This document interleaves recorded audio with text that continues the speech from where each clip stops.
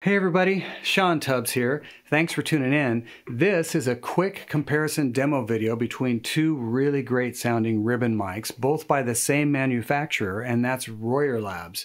One of the mics we're going to be checking out is the R121, which is their flagship ribbon microphone. Uh, it's been out since the late 90s. Um, this mic had an indelible effect on me the first time I heard it, and I had to have one. So I've had one of these for a really long time, and I know that mic really well. Now, the other mic we're going to check out is the Royer R10. Now, this is the newest addition uh, to the Royer family, and it was built as a less expensive alternative to the 121. Now, uh, it has the same exact 2.5 micron ribbon.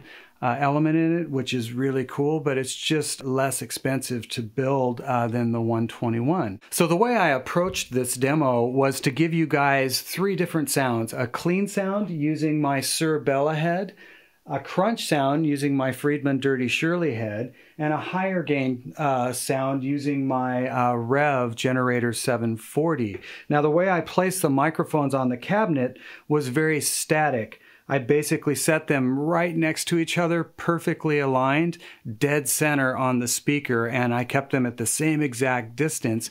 And I just did one pass of all three sounds. And what that allowed me to do was uh, essentially comp between the two microphones um, so that we can do really quick back and forth so that you guys don't forget how the last mic sounded before you hear the next mic. And it allowed me to just play one pass and not necessarily change the way I played each, because even if you play the same exact pass, you might play slightly differently each time. This allowed me just to do one pass and then toggle between the two microphones. Now the microphone I did monitor while I was playing was the R10, but they were both recorded at the same time. So in the comments below, I would love to hear uh, what you guys thought and uh, what you felt the differences between the two microphones were. Because they're both really great mics and they're both uh, really nice uh, options uh, for what I feel are some of the best ribbon mics uh, ever built.